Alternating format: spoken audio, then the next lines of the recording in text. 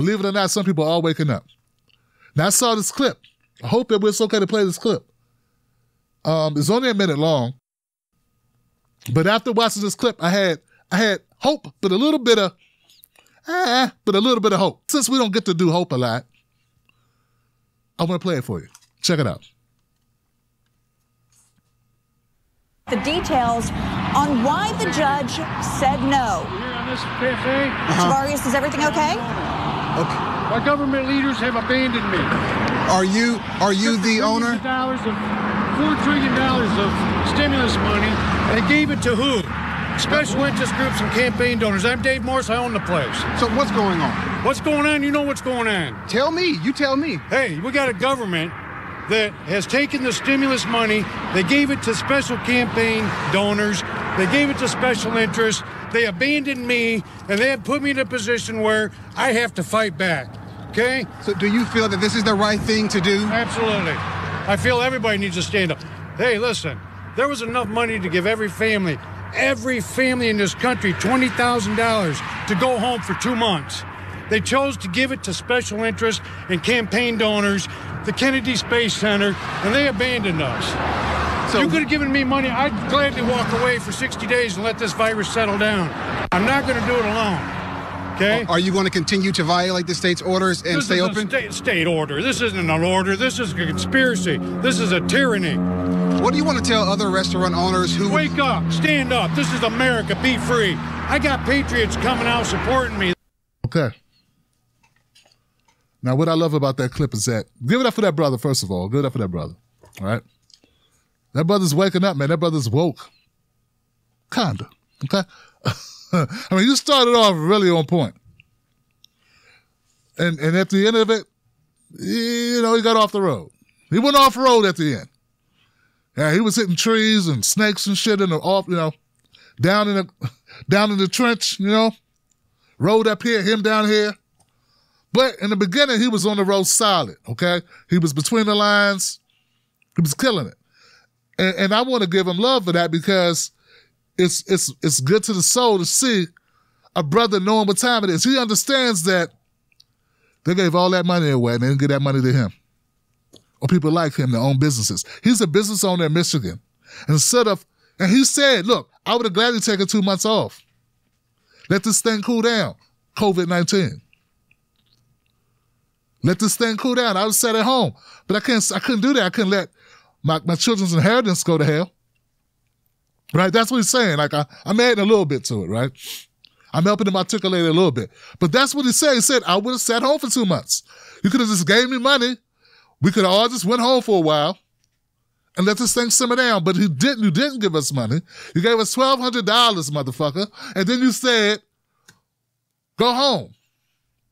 Well, that held him for about a week or two weeks. And then, the, you know, then they start knocking on the door for the money. Okay? They start knocking on the door at that point because uh, companies, the bill collectors want their money. So here we are. Here we are. And I'm telling you guys, there are some people that are waking up, and I'm seeing a lot more of it. And this is not about party, it's about reality. It's about reality, folks. So people keep talking to me about there's going to be a civil war. Stop fantasizing. Okay, stop fantasizing. But what there what there should be is a revolution. Okay? And that revolution should be against the people that got the money. At some point, all of us have to recognize we're fighting amongst ourselves, but they take the money and run out the door. At some point. And that brother right there is calling it out. So I feel I feel I'm glad to see it where obviously there are people that know what time it is. Now, he may not articulate it the way you would articulate it. He may have a different way of expressing it, but he knows, he know, one thing is for certain, two things for sure. He know damn well the government had the money, that we print our own money, and if they wanted to, this would not be an issue. And unlike they like to paint it, unlike they paint it often on these uh, news shows, he wasn't going, I don't want to wear no mask. I don't want to wear no mask, and believe it's, I think it's a big hoax, and there's an alien in the bathroom, and a bunch of stuff. They let a, this guy talked, and he, you know, Because what they try to do, they try to find the most volatile person. But this person just happened to walk up. This was not a scheduled interview. He happens to walk up. He was the owner of the restaurant. He walked up. This was not prepared. Because if it was prepared, you know what they do. They go find that guy that's like this. I try to tell you that Donald Trump is the king of God. He is the God of man, a man of man, a God amongst man. And you shouldn't wear a mask, you dumb sissies. And I hate the blacks and the gays and the Jews. And we need to do, we need to fight back and tyranny. And, you know, that guy's the guy they go get. And that's just to scare black people. That's all. Remind black people so black people vote for Joe Biden. That's all that is.